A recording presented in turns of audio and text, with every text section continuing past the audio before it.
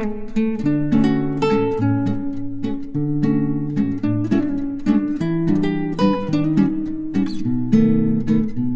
guys welcome back to my channel টিটোজ and ভূমিক্স ব্লগসে তোমাদের স্বাগত। আজকে তোমাদের সাথে একটা রেসিপি শেয়ার করব, এটা হচ্ছে চিকেন পাটিয়ালা তার আগে, সবার আগে জিজ্ঞেস করি, তোমরা কেমন আছো? আমি তোমাদেরকে অনেক দিন পর তোমাদের সাথে রেসিপিটা শেয়ার করছি। চলো পুরো রেসিপিটা তোমাদের সাথে একবার শেয়ার করি। আমি এখানে সাতশো গ্রাম চিকেন নিয়েছি। চিকেনটা আমরা ম্যারিনেট করে রেখেছিলাম দু ঘণ্টার মতন। এখানে টক দই, গোলমরিচের গুঁড়ো, আদা, রসুন আর নিজের মতো স্বাদ মতো নুন দিয়ে ম্যারিনেট করে রেখেছি। দু ঘণ্টা পর আমি এটাকে রেস্টে দিয়েছিলাম ফ্রিজে রেখে দিয়েছিলাম। ফ্রিজে কিছুক্ষণ রাখার পরে আমি এখানে ছোট ছোট করে পেঁয়াজ কুচিয়ে নিয়েছি, টমেটো কুচিয়েছি, এখানে কাঁচা লঙ্কা কুচি আর এখানে আমি কসুরি মেথি নিয়েছি। কসুরি মেথি আমি ডিরেক্ট দি, দেবো না। কসুরি মেথিটা ভিজিয়ে তারপর দেব। তার জন্য আমাদেরকে কড়াইয়ের কাছে যেতে হবে। কড়াইতে তেল নিয়ে তেলটা গরম করে নিয়েছি। এই যে দেখছ কসুরি মেথিটা, এটাকে আমি জল দিয়ে ভিজিয়ে রাখব। কারণ ডিরেক্ট দিয়ে দিলে কসুরি মেথিটা আগে পুড়ে যায় রান্না করতে করতে। এখানে দেখো তেল গরম হয়ে গেছে। তেলটা গরম হওয়ার পরে এখানে এলাচ, দারচিনি আমি ফোড়ন দিয়েছি। পেঁয়াজটাকে ভালো করে লাল করে ভেজে নেব, কিন্তু অল্প হালকা লাল করবে। বেশি লাল করলে আবার পুড়ে যায়।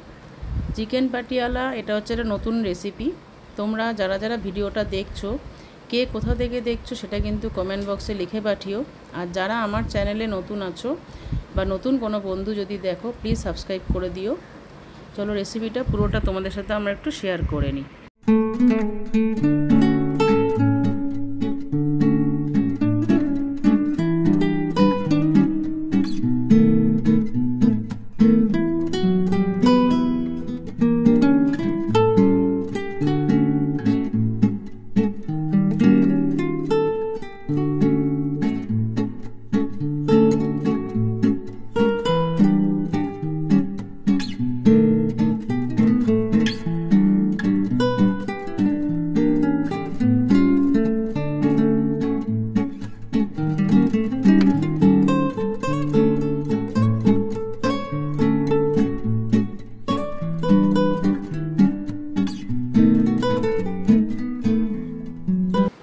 যখন পেঁয়াজটা যখন একটু একটু ভাজা হয়ে গেছে, ওর মধ্যে টমেটো দিয়ে দিয়েছি, কাঁচা লঙ্কা কুচিয়ে রেখেছিলাম। ঝালটা তোমাদের স্বাদ মতন দেবে যে কে কীরকম ঝাল খাও। যে যেরকম ঝাল খাও, সেরকমভাবেই লঙ্কা দেবে। আমরা একটু ঝাল বেশি খাই। এরপর আমি মশলাটাকে ভালো করে কষিয়ে নেব। মশলাটা কষানোর সময় আমি তোমাদেরকে বলে দিই, যেই আমরা যেটা ভিজিয়ে রেখেছিলাম কসুরি মেথিটা, সেই কসুরি মেথিটা এখানে আমরা অ্যাড করে দেব। যখন রান্না হতে হতে দেখবে কসুরি মেথিটাও সিদ্ধ হবে, তখন কিন্তু আর পুড়ে যাবে না। তোমাদের সাথে রান্নাটা শেয়ার করি। বাকিটা কীভাবে রান্না করেছি দেখে নাও। আমাদের মশলাটা কষে এসেছে। কষে আসার পর যেটা ম্যারিনেট করে রেখেছিলাম মাংসটা, সেই মাংসটা আমরা দিয়ে দেব। দিয়ে কিন্তু এখানে ভালো করে কষিয়ে নেব।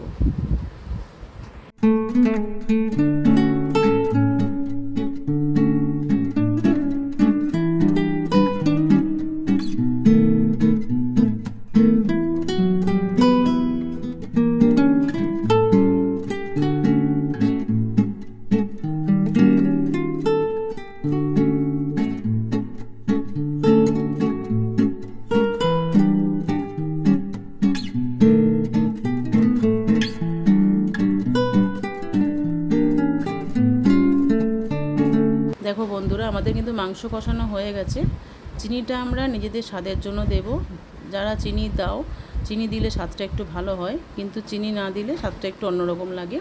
স্বাদটাকে ব্যালেন্স করার জন্য চিনিটা অ্যাড করতে হয়। এখানে আমি মাংসটা হতে হতে পাশের কড়াইতে তেল, ঘি নিয়েছি। এখানে আমি তেল ইউজ করিনি। ঘিয়ের মধ্যে শুকনো লঙ্কা, ফোড়ন আর আমাদের ক্যাপসিকাম আর ছোট ছোট করে কাটা, কেটে রাখা পেঁয়াজগুলো একটু ভেজে নেব।